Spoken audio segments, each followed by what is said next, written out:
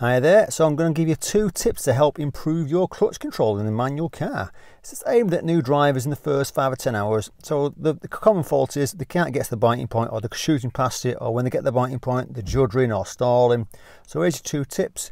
Clutch down into first gear, lift slowly, just take your time. And then when you feel a pull, hold it. Release the handbrake, count to three, two, one and then slowly lift that clutch up. By the time you get to three, the car's already moving and it shouldn't stall on you.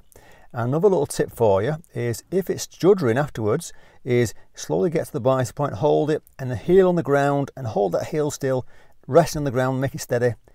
Release the handbrake, count to three, two, one, and then slowly lifting the clutch up, heel on the ground, using your ankle to move the, the um, foot up. Hope it helps you. If it does, fantastic and safe driving.